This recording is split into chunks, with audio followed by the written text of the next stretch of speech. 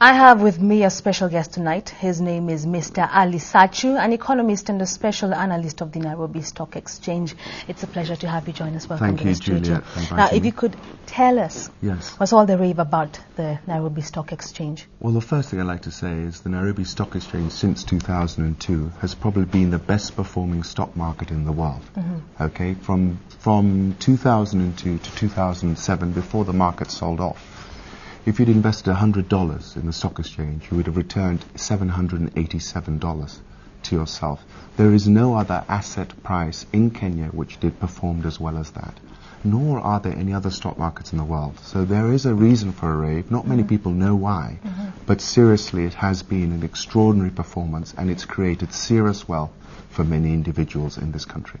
Okay. D- does the general public know that? I don't think they do, and I think they, they, I think what we need to do is get more statistics out there so people can actually make intelligent choices about their investments. But it has serious it, that that is a figure that is correct. S and P came out with it. You go and, you can go and check it if you wish. Okay, then why, why are Kenyans skeptical about getting into the stock exchange? Um, we, we get new investors getting into IPOs without much of a clue, Yes. so to speak.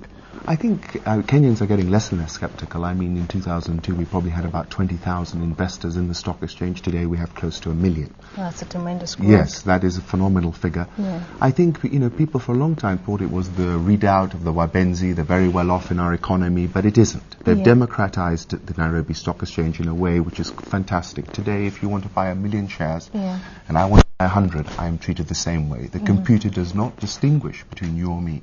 A year ago, if mm. you if I was buying a hundred shares, most brokers would probably not bothered to instruct that trade. Okay. Right, so- That, that said, what are the primary reasons of getting into the stock exchange?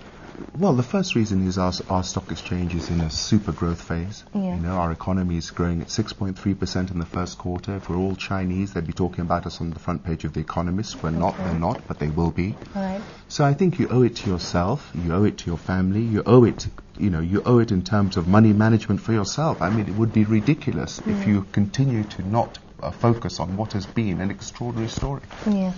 You're launching your website tomorrow. What's the name of the website? My, the name of the website is www.rich.co.ke.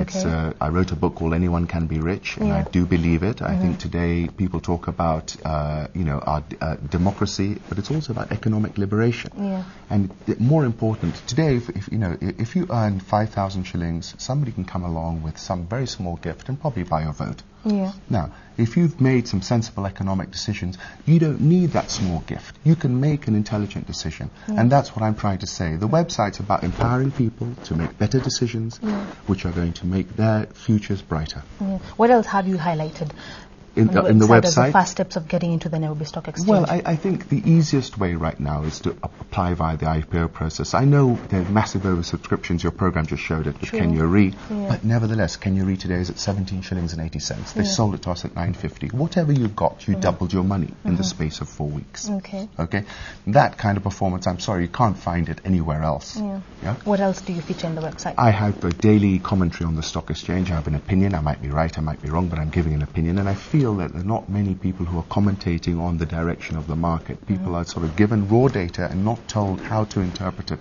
So I'm trying to do a bit of that. I worked for many years in the City of London, mm-hmm. and I'm trying to impart some of my knowledge to to my fellow Kenyans. Okay. Moving on, I've learned that it is ideal for you to Yes. invest in the stock exchange Yes. while you're still in a suitable state Yes. to earn. Yes. Would you add anything further? Well, I, I would say that's quite correct. I mean, you know, obviously, if you don't have disposable income, it's very difficult, and you'll probably need to sell stocks at the wrong time to raise it. You know, the stock market becomes very weak in front of the school holidays because everybody starts selling the sh- shares to pay school fees. So you've got to be aware of those internal cycles. But what the lesson my mother told me, which I think is the most important one, which I'll remember today, it's not how much you earn, it's how much you save. Uh-huh. And then it's about what you do with that saving. Uh-huh. If I am doubling my savings every year Yeah. and you're overspending, uh-huh. I'm going to be incredibly better off than you are in five years' time. So do you Right. think that the idea that you need to s- s- uh, save on a minimum of over 10% of your salary Absolutely, you've got you've you got to save something. You really do. And a minimum of 10%. minimum of 10%. Yeah. The more you save, the mo- in fact, it's, a, it's something that people don't like to know, but the more consumption you deny now Mm-hmm. creates a bigger pool of savings for yourself and allows you to consume much more, much further down the line. But you know, when we're young, we want a flash car, we want this, we want that. Deny it now, and you'll have a very flash car later on.